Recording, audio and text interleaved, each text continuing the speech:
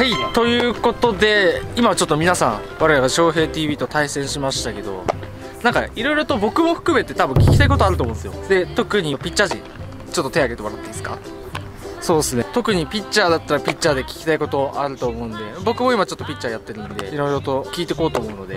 なんかあったら今ここでまだダウン気味のキャッチボールをしてる方がいるのでちょっと翔平さんに聞きたいことがある人聞いてみてくださいはい。はい。じゃあはい。低めいいですか？低めにボールが集まらないんですけどどうしたらいいですか？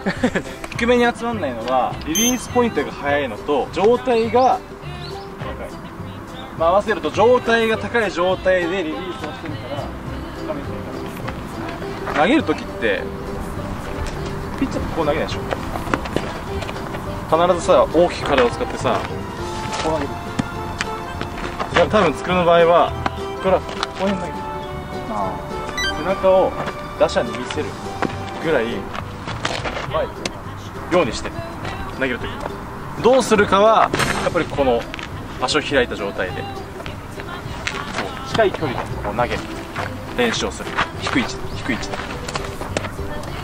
投げる練習をする。形を癖づけるといいですよあとはやっぱりもうフォームを鏡で見てこう投げて投げ終わりにこう自分の背中が見えるかどうかそのリリースを瞬間ね。瞬間見えると思うんだよ鏡が。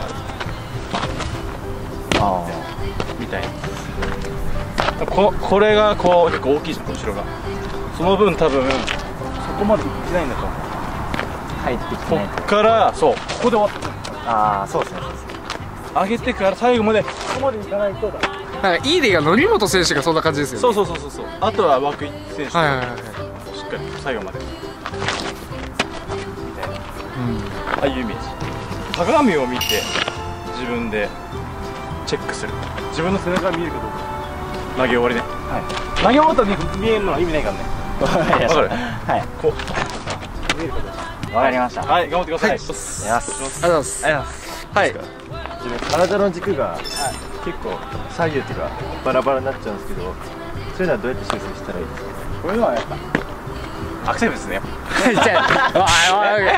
どこの回しもんじゃ体がしっかりしないとダメなんですよ下半身下半身下半身あとま あブレないようなフォーム作りというか多分まだ投げ込めてないと思う、うんいっぱい投げて体を覚えさせれば高めに行く癖があるじゃん、そこさっき言ったように背中をまあ見せる横はあとはメンタルですね横に行っちゃうのはメンタルですはいでバッターが立った時に当てちゃうかさ外行き過ぎちゃうかでしょメンタルじゃないですか。ブレるならキャッチボールから一からうん。始めるべき、もうキャッチボールでちゃんとしたところに投げれないんじゃその18.44でも無理だから、まあ、近い距離でビシッとこう投げる練習。それをこう徐々にこう伸ばしていって最終的に18.44ちゃんとしたこう位置に投げるようになったらこれは本物だと思います。すいませんありがとうございますツーシームの投げ方を教えてもらいたいです。ツーシーム？あじゃあ動画が2本ぐらいあるんで見てください。左と右で分かんないけど、えー、と左でいう人差し指か。右でいう人差し指か。結構なんか薄いイメージ。指で薄いイメージ。だからこう持ってるけど実際ここ添えてるだけほとんど。ここで投げてるなんだ変化球だけどストレートと同じように投げる。しなりを使って指はこういうイメージで投げますでさそれがまずはその投げる方法ね。試合で使うにはじゃあそれはさっき言ったようにやっぱこの前で自分がどれぐらい曲がるかというのを理解してでこの辺に投げるとこうこの位置に曲がっていくっていうのを意識した状態で前で投げる。一番大事なのはやっぱオラーって投げじゃなくてギリギリまでこう丁寧に投げる。それ大事です技術的なことじゃなくて、はメンタル的なことなんですけど、はい。ピッチャーとしてどういう考え方が一番ふさわしいのかなと思ってストライクやっぱ入らない日とかもあるじゃないですか。いやもう調子が悪いっていう精神でしょあってことはそれ以上に自分に自信がなきゃダメなわけですよ。自分に自信があるぐらいたくさん投げてたくさん自分の中であ今日はこれできた。今日はこれできた。今日はこれできたっていうのを一個一個クリアしてって最終的に自信になって試合でも投げれるイコール練習しなきゃダメたくさん。投げて。だと思います、はい、練習しない。で例えばずっと野手やってる子いるじゃん。ずっと野手やってる子がピッチャーいきなりやっても多分無理だと思う。メンタルも多分ないだろうし技術的な部分ないと思うから。そこはもう練習を試合がある別の日とかに練習して投げ込むしかないよ。ね時間を使って。そんな感じ。僕があるのは結構ピッチャーやってても調子いい時と悪い時の波が激しいんですよ、はい。その悪かった時まあ必ず絶対どっちかあるじゃないですか、うん。で悪かった時のその対応法そういうのを聞いてみたいですね。悪い時例えばじゃあまっすぐ主体で投げてる人ピッチャー。でそのまっすぐがダメだったらどうする？の沈没します。沈没。沈没。沈没。え変化球でし試合は作れない？変化球だけで。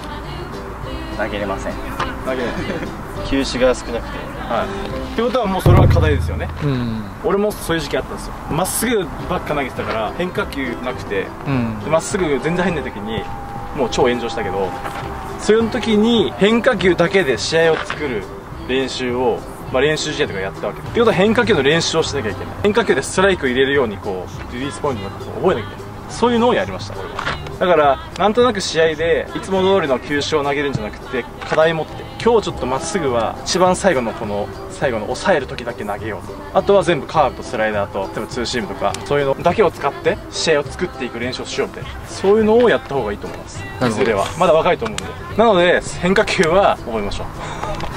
最低3つぐらいなきゃ。ストレートがダメな時にそれで使える。むしろその変化球の3つのうち例えば2つがダメだった時はまっすぐとそのもう1個の変化球で試合を作る腕の振りとかを変えると一球一球変わるしボールまっすぐもさ思いっきり投げるのと例えば7割ぐらいで投げるのってボール多分違うと思う。こう待ってるバッターも違うと思う。チェンジアップのような感じになることもあると思うのでそこで球種をこう増やしていく。ある意味さマックスの球ストレートと7割ぐらいのストレート。で変化球も例えばカーブだったらカーブ。でカーブのちょっと速い版みたいな。それでも4つぐらい球種になるからそういうのを使い分けていくといいと思います。1つの変化球を細分化というか細かくしていく。そういうのもやっていった方がいいと思います。はい。ありがとうございます。ありがとうございます。どうですか？今のちょっとわなんとなく分かった。はい。なんとなく分かった。キャッチャー的にどうですか？高めに浮きまくるピッチャーってやっぱ。そうですね。お前いい加減にしろよと思うでしょ。悪かったな。悪かったな。悪かったな。いや思うよ。いや思うと思うよ。こっちしか行かない実際僕は思いますからね。じゃあ構えるよ。ね そこ投げたいんだったら構えるよって。あでもどうしても投げたいの キャッチャーも楽しいしそうなると。まあそうですね。でしょ楽しいでしょ。楽しいですね。でしょ高めに行きまくる楽しくないと思うんだよキャッチャー。だからキャッチャーのためにもチームのためにも努力をした方がいいそれでもまあそうっすよね。草野球の醍醐味って楽しいですから。ね楽しい。楽しい。抑えたら楽しい。変化球なくてこうだ打者がビビったら楽しいとかあるでしょ。そういうのそういうのそういう優越感をが欲しいから頑張る。頑張ってください、はい。大丈夫でしょじゃあ皆さんにちょっとアドバイスをいただいたので皆さんでお礼を言いましょう。気をつけ礼はい。なんだこれ。はい本日の動画以上となります。この動画がいいなと思ったらチャンネル登録コメントグッドボタンよろしくお願いします。それではありがとうございました。皆さんに特に学生さん向けにプチプレゼント企画いつの間に？まあさらっと。話してよだってよみんな。あの僕もボーイズの取材とか行ってバッティングしてたんですけど竹だ竹。右手握力なくなるぐらいしびれちゃったんで まあそういう。下手なだけ下手なだけ。痛いのは痛いですね。下手なだけ高校の時からやっぱり痛かったんでずっとそんな方々にこちらを。プレゼントいたします。何これ何これ。あの衝撃球種僕もなんか高校の時に他のメーカーので、まあ、タックバットだったりフード練習で使ってたんですけど親指につけてやるとあの衝撃が少しは吸収されるという。マジで？プロ野球選手なんかも吉田正尚選手がつけてたかな。えあこの間スポーツ王ではい。石橋さんがつけてました。そういったあの竹バット使ったりだとか、まあ、金属でも痛い時は痛いのでこちらを学生さんかな。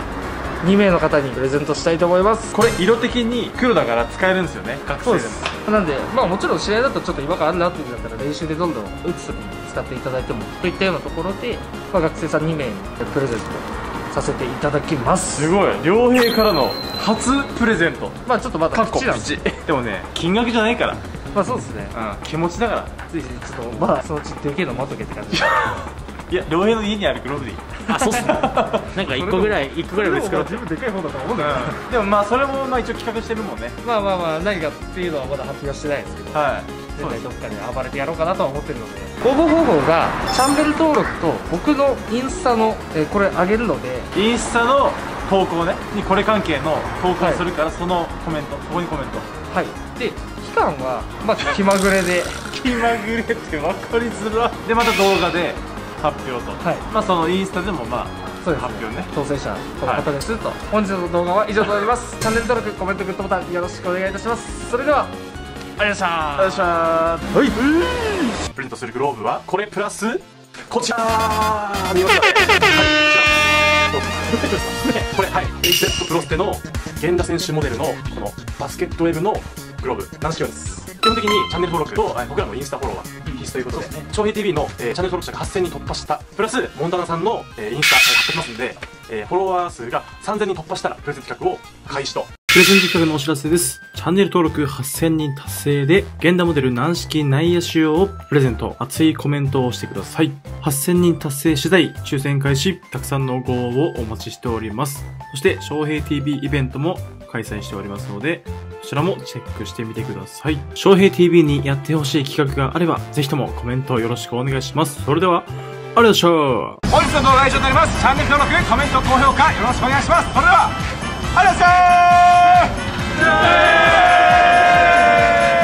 た翔平 TV T シャツ販売走れ大井チャンネル大井くんの T シャツも販売しております。モンタナスポーツのリンクから飛べますのでぜひともチェックしてみてください。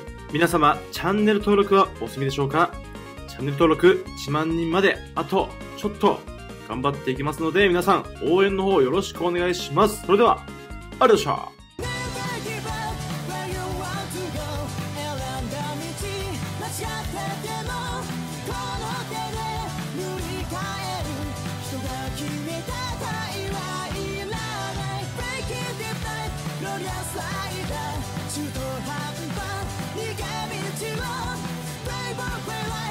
切るのさ磨き抜いた決めたで